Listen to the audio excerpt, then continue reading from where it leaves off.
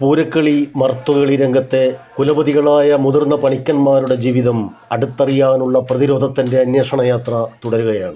നമ്മുടെ യാത്രയിൽ കണ്ടെത്തിയിരുന്ന മുതിർന്ന പണിക്കർഷന്മാർ തങ്ങളുടെ സംസാരത്തിനിടെ ഈ രംഗത്തെ രണ്ടാം തലമുറക്കാരിൽ ശ്രദ്ധേയരും ജ്ഞാനികളുമായ പല പണിക്കന്മാരെക്കുറിച്ചും സൂചിപ്പിച്ചിരുന്നു.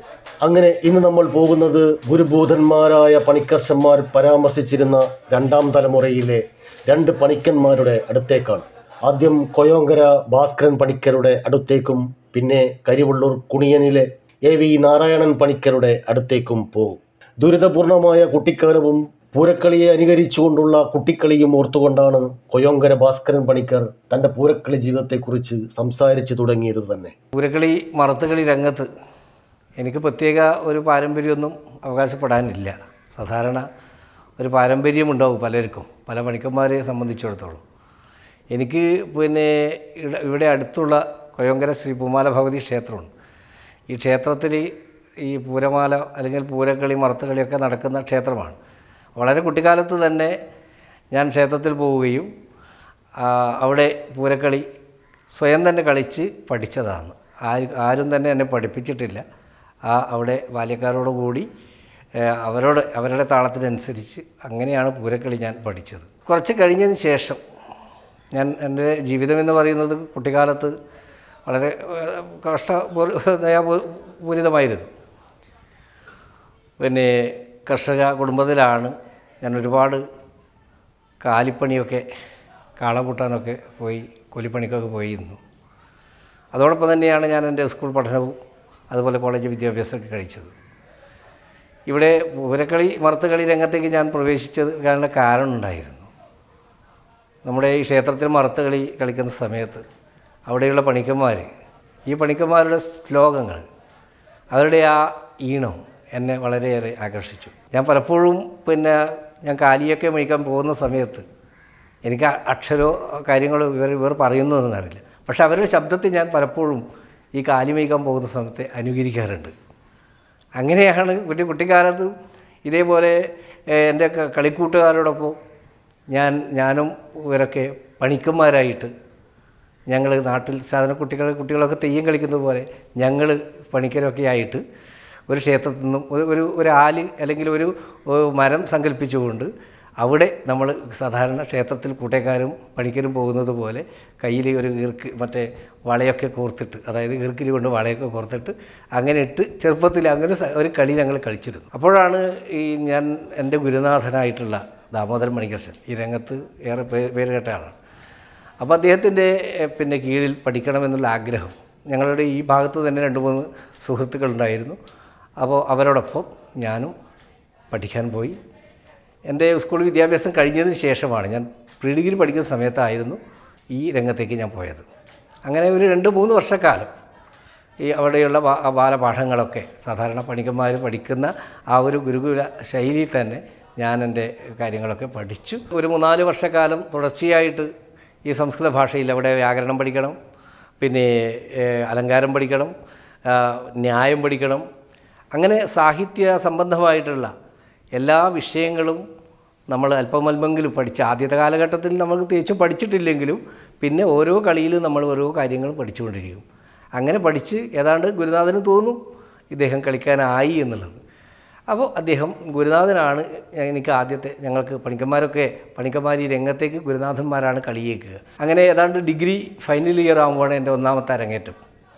അന്ന് ആദ്യത്തെ അരങ്ങേറ്റം നടത്തുന്നത് കണ്ടങ്കാളി കണകത്ത് കഴകം. അവിടെ അന്ന് മറത്തുകളി പിന്നെ ഉണ്ടോ എന്ന് ചോദിച്ചാൽ അതിന് മുമ്പേ പല വളരെ കാലം മുമ്പേ ഉണ്ടായിട്ടുണ്ട് എന്നാണ് പറയുന്നത്. അതായത് മമ്പലക്കാരും അതുപോലെ മാവിച്ചേരിക്കാരും ഈ കണകത്ത് കഴകത്ത് വന്ന് കഴിക്കണം എന്നാണ് പഴയ കാലത്ത് എത്രയോ കാലം മുമ്പേ അതെന്തോ കാരണത്താൽ മുടങ്ങി. അപ്പോൾ ആ- ഒരു തുടക്കമാണ്. അതായത് പിന്നെ എൺപത്തി ഒമ്പതിൽ എൺപത്തൊമ്പതിലാണ് എന്റെ ആദ്യത്തെ അരങ്ങേറ്റം എന്ന് പറയുന്നത്. പണിക്കന്മാർ നേരത്തെ ക്ഷേത്രക്കാർ ഏൽപ്പിക്കും. അതായത് പിന്നെ വീട്ടിലേക്ക് വന്ന് അവർ പിന്നെ കുട്ടേക്കാരോ ആ ക്ഷേത്ര ഭാരവാഹികളോ വെത്തിലി അടയ്ക്കും തന്നിട്ട് ഒരു ദക്ഷിണയും തന്നിട്ട് ഈ വർഷം ഞങ്ങളുടെ ക്ഷേത്രത്തിൽ പൂരമാല കഴിച്ചു തരണം എന്നവർ പറയും. അതന്നെ പണ്ട് നമ്മൾ കാലി കാലിക്കച്ചവടമൊക്കെ ചെയ്യുമ്പോൾ ഒരു അഡ്വാൻസ് കൊടുക്കും. തെറ്റാൻ പാടില്ല എന്നുള്ളത്. നമുക്കിതാണ് നമുക്ക് ചിലപ്പോൾ അഡ്വാൻസ് കൊടുത്തു കഴിഞ്ഞാൽ ചിലവർ മുങ്ങുന്നവരുണ്ട്. ഈ ക്ഷേത്രക്കാർ വന്ന് ഉറുമാലൊക്കെ ഇട്ടിട്ട് നമ്മൾ വീട്ടിൽ വന്നിട്ട് ഈ വെത്തിലടക്കുകയും ചെയ്ത് ഈ ഒരു കർമ്മം ചെയ്തു തരണം എന്ന് വാക്ക് പറഞ്ഞാൽ ഒരേ ഒരു തരത്തിലും ആ പണിക്കർ പിന്നെ അതിൽ നിന്ന് പിന്മാറില്ല. അതിന് ചില ചടങ്ങുകളുണ്ട്. ആ ചടങ്ങുകൾ എന്ന് പറയുന്നത് ആദ്യം കണ്ടുവെക്കാൻ വരിക. പണിക്കരെ കൂട്ടിക്കൊണ്ടിരുന്ന ഒരു രണ്ട് ബാല്യക്കാർ വന്നിട്ട് പണിക്കരെ കണ്ടുവെക്കും കണ്ടുവച്ചതിന് ശേഷം അവരവറിയും ഇന്ന ദിവസമാണ് പണിക്കരുടെ നിശ്ചയം. ഈ നിശ്ചയം എന്ന് പറയുന്നത് പണിക്കർ അന്ന് ക്ഷേത്രത്തിൽ നിന്നും അവരെ ക്ഷേത്ര ഭാരവാഹികളും കുട്ടേക്കാരും ഒക്കെ വരും. ഒരു പത്ത് പതിനഞ്ചോ ഇരുപതോ ആൾക്കാർ വന്ന് ഈ പണിക്കരുടെ വീട്ടിൽ വരും. അപ്പോൾ പണിക്കർക്ക് ഒരു ദക്ഷിണയും കാരണം അവർ പിന്നെ ഗുരുനാഥന് കൊടുക്കാനുള്ള ഒരു വീട്ടിപ്പണം എന്നൊക്കെ പറയും. വീട്ടിപ്പണം എന്ന് പറയും.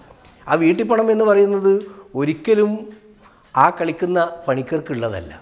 അത് ഗുരുനാഥനുള്ള അവകാശമാണ്. പക്ഷെ അത് പലപ്പോഴും അറിയാതെ പോകുന്നുണ്ടോ എന്നുള്ള സംശയമാണ്. അപ്പോൾ വീട്ടിപ്പണം നൽകി അവർ അന്ന് പിന്നെ വീട്ടിൽ നിന്ന് ഭക്ഷണമൊക്കെ കഴിച്ച് പോകും. ഇതാണ് നിശ്ചയം എന്ന് പറയുന്ന ചടങ്ങ്. ആ നിശ്ചയ ആയ ദിവസമാണ് ഇന്ന ദിവസം പണിക്കരെ ഞങ്ങളുടെ ക്ഷേത്രത്തിലേക്ക് കൂട്ടിക്കൊണ്ടുപോകും. അങ്ങനെ ഒരു ദിവസം നിശ്ചയിച്ച് നല്ല ശുഭമുഹൂർത്തമൊക്കെ കണ്ട് ഇന്ന ദിവസം തീരുമാനിച്ചു. ആ തീരുമാനിച്ച ദിവസം ഇതേപോലെ പത്ത് പതിനഞ്ച് ഇരുപതോളം ബാല്യക്കാർ വന്ന് കുട്ടക്കാരൊക്കെ വന്ന് പണിക്കരെ കൂട്ടിക്കൊണ്ടുപോകുന്ന ചടങ്ങ്. അവർ ക്ഷേത്രങ്ങൾ പല ക്ഷേത്രങ്ങളിലും ഈ ആചാരവടിയുമായിട്ട് വരികയാണ് ആചാരവടി ആചാരവടിയും എന്ത് ചെയ്തിട്ടാണ് പല ക്ഷേത്രങ്ങളിലും ക്ഷേത്രങ്ങളിൽ നിന്നും പണിക്കരെ കൂട്ടിക്കൊണ്ടുപോകാൻ ചൊല്ലുക.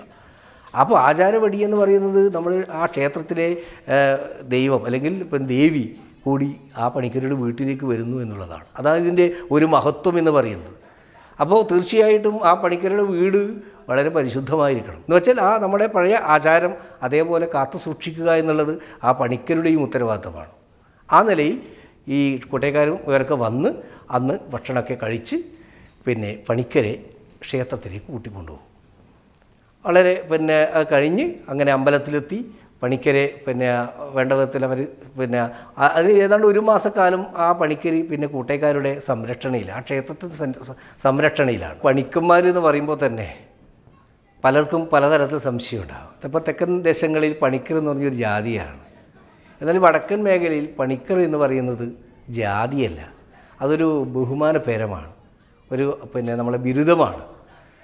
ഒരു പുരക്കളി രംഗത്ത് ഒരു പണിക്കര് എങ്ങനെയാണ് പണിക്കരാകുന്നത് ചോദിച്ചു കഴിഞ്ഞാൽ ഇതേപോലെ ഗുരു ഗുരു ഗുരുവിന്റെ കീഴിൽ പഠിച്ച് അവരെ ക്ഷേത്രങ്ങളിൽ കളിച്ച് രണ്ട് മൂന്ന് കുറേ മറുത്ത് കളി കളിച്ച് ആ ക്ഷേത്രക്കാരുടെ പ്രശംസ അദ്ദേഹം കൊള്ളാം ഈ രംഗത്ത് ശോഭിക്കുമെന്ന് ആ ക്ഷേത്രക്കാർ നിശ്ചയിക്കുമ്പോഴാണ് യഥാർത്ഥത്തിൽ അദ്ദേഹത്തെ പണിക്കരായിട്ട് നാമകരണം ചെയ്യുന്നത്. അങ്ങനെ പട്ടും വളയും കൊടുത്തു കഴിഞ്ഞാൽ പിന്നെ ആ പേരിനോടൊപ്പം ഞാൻ ഭാസ്കരൻ ഭാസ്കരനാണെങ്കിൽ പിന്നീട് എന്നെ ഞാൻ അറിയപ്പെടുന്നത് ഭാസ്കരൻ പണിക്കർ.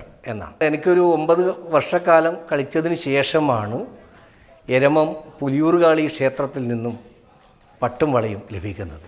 ആ പട്ടും വളയിൽ ലഭിക്കുന്ന തരുന്നത് മുതുകാട്ട് കാവിൽ വെച്ചിട്ടാണ്. കാരണം നമ്മൾ ഈ ക്ഷേത്രം തീയ സമുദായത്തിന്റെ ക്ഷേത്രത്തിൽ അവിടെ ഈ ആചാരവള കൊടുക്കാറില്ല. അത് നടത്തുന്നത് ആ കർമ്മം നടത്തുന്നത് ഈ മുതുകാട്ട് കാവ് ക്ഷേത്രത്തിൽ വെച്ചിട്ടാണ്. അവിടെ തരണനെല്ലൂർ പത്മനാഭൻ ഉണ്ണി നമ്പൂതിരിപ്പാടാണ് എനിക്ക് എന്നെ ആചാരപ്പേര് വിളിച്ചത്.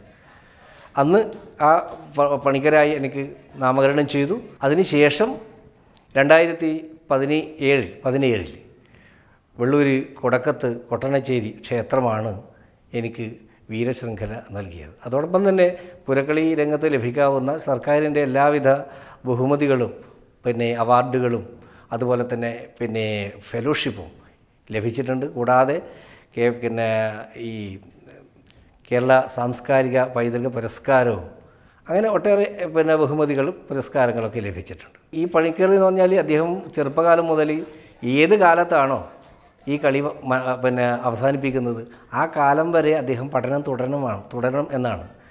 കാരണം വാർദ്ധക്യമായി കഴിഞ്ഞാലും കളിക്കും. അപ്പോഴും അദ്ദേഹം വിദ്യാർത്ഥിയാണ്. അപ്പോൾ ഏത് കാലഘട്ടത്തിലും കാരണം കാലത്തിനനുസരിച്ച് ഈ നമ്മളും മാറിയിട്ടില്ലെങ്കിൽ തന്നെ നമുക്കറിയാം പഴയ കാലത്തെ മറത്ത് കളിയല്ല ഇന്നത്തെ മറത്ത് കളി. അപ്പോൾ കാലഘട്ടത്തിൽ നമ്മുടെ സഹൃദയന്മാരുടെ അഭിരുചി അതല്ലേ?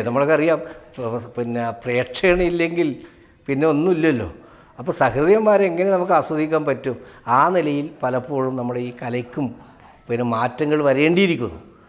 പഴയകാലത്തെ മർത്തകളിയല്ല ഇന്നത്തെ മർത്തകളി എന്ന് പറയുന്നത്. ഇപ്പം എന്റെ ഒരു കുട്ടിക്കാലത്തെ പഠനം എന്ന് പറയുന്നത് ഗുരുനാഥന്റെ കീഴിൽ അവിടെ നിന്ന് പഠിച്ചു.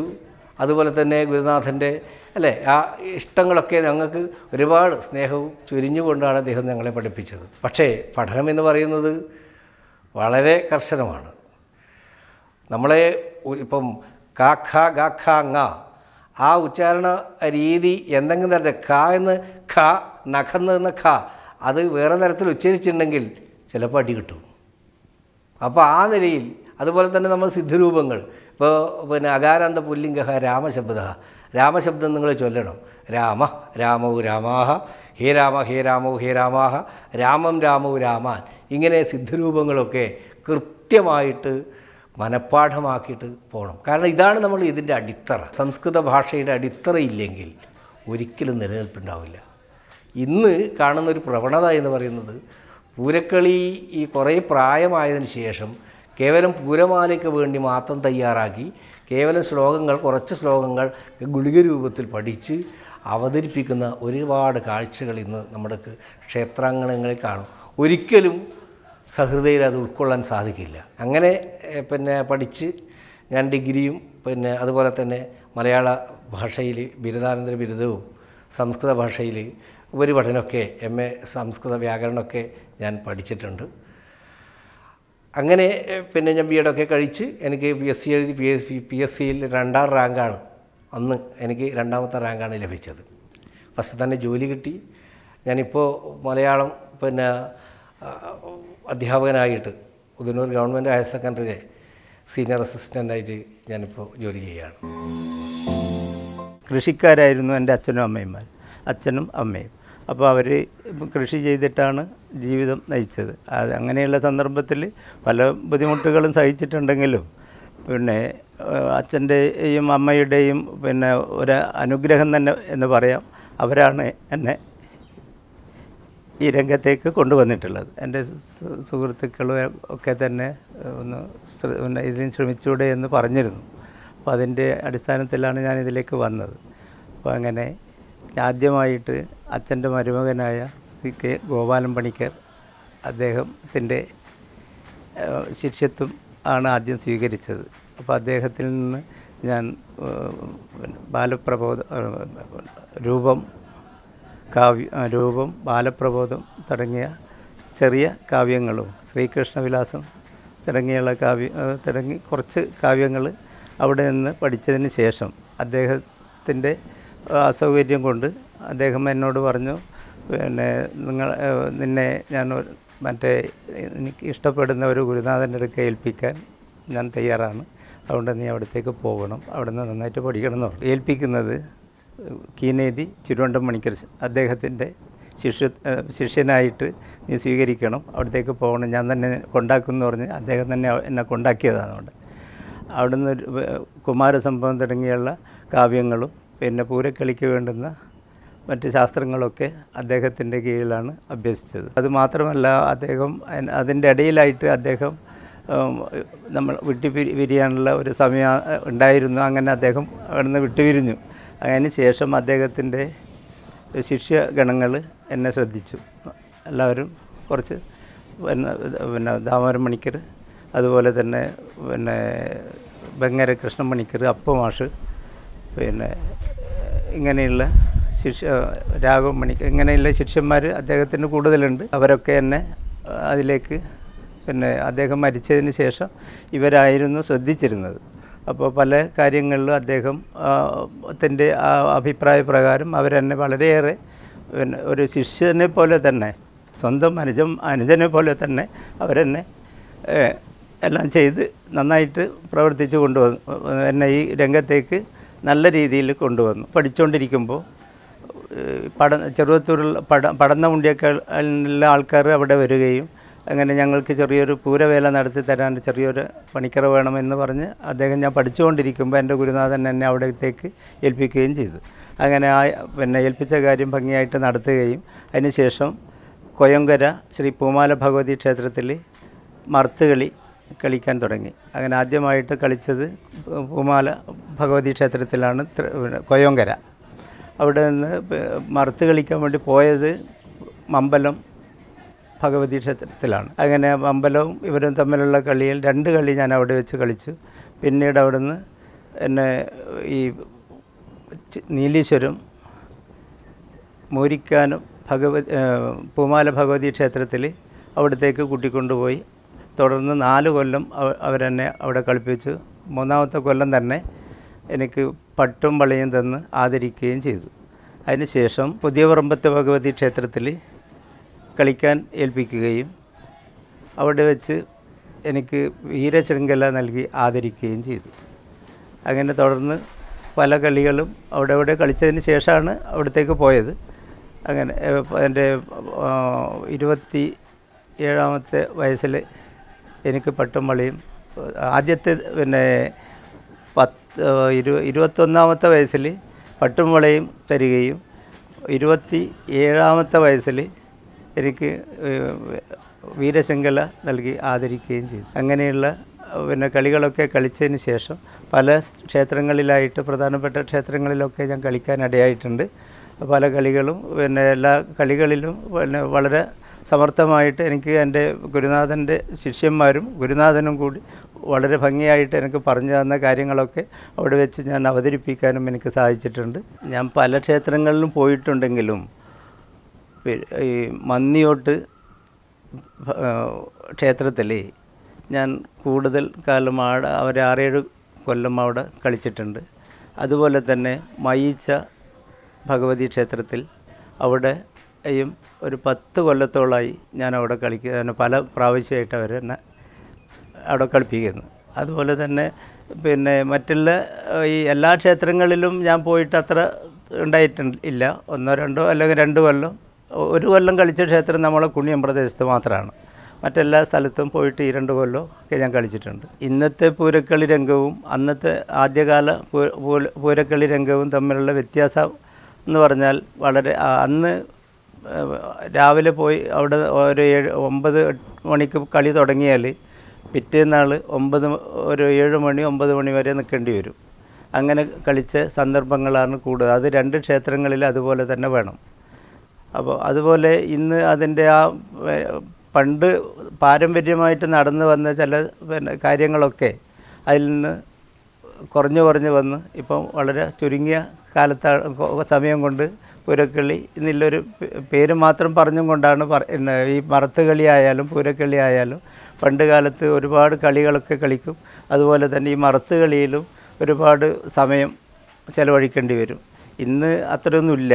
ഇന്നത്തെ കാല ഇന്നത്തെ ഈ പരിസ്ഥ പരിതസ്ഥിതികളിൽ നമ്മൾക്ക് പല കാര്യങ്ങളും പറയാനുണ്ടെങ്കിലും അതിലേക്കൊന്നും ഞാൻ കടക്കാൻ ഉദ്ദേശിക്കുന്നില്ല. എന്ന് പറഞ്ഞാൽ നമ്മൾക്ക് ചെറിയ ചെറിയ സമയം മാത്രമേ ഇന്നിപ്പോൾ പത്ത് മണിക്ക് പോയിട്ട് തുടങ്ങിയാൽ ഒരു രാത്രി പന്ത്രണ്ട് മണി ഒരു മണി രണ്ട് മണിക്കുള്ളിലായിട്ട് കളി തൂവുന്ന സമ്പ്രദായമാണ്. പണ്ടത്തെ പോലെ നാടകം യോഗി തുടങ്ങിയുള്ള കളികളൊന്നും ഇന്ന് പൂർണമായിട്ട് അവർ പൂർത്തീകരിക്കാൻ കഴിയാത്ത മട്ടിൽ ചെറിയ തോതിലാണ് ഇന്ന് ഒക്കെ ഒരു ഒരു കർമ്മം എന്നുള്ള രീതിയിൽ മാത്രം ചെയ്ത് തീർക്കുന്ന ഒരു പരിതസ്ഥിതിയിലാണ് ഇന്നത്തെ അവസ്ഥയുള്ളത്.